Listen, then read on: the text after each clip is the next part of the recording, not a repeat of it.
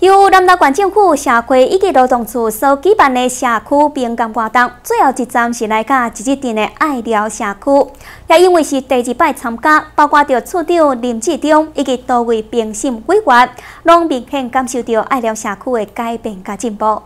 并且嘛鼓励社区发展协会干部积极来参与长期照顾的福利政策，借助促进社区居民的幸福感。第二年参加社区宾干的一日镇爱聊社区，一开始就和社会甲劳动处长以及评审委员感受到真大的无同甲进步。除了是因为爱聊社区活动中心全新启用以外，另外就是为旧年甲打协会人员在理事长的带领中，用心追求进步的成绩得到肯定。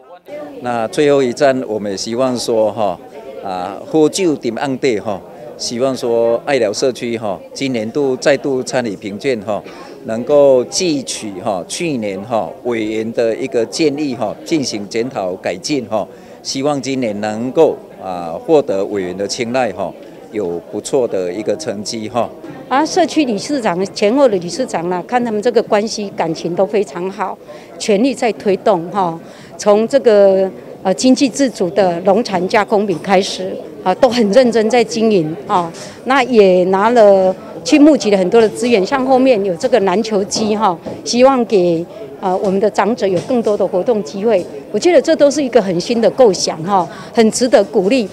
为去年第一届参加管府举办的社区宾干，经过一年的时间，爱聊社区发现，在管会协助下，增加了真济资源来促进社区进步和发展，因此今年是更加用心来参加。这有评鉴啦，哦，这有进步啦，哦，啊，就是讲。这阮啊登记啊，阮有咧做，啊当然就要接受即款诶呃评鉴啊，或者比较，啊，阮之后的才有进步空间啦，啊，阮以后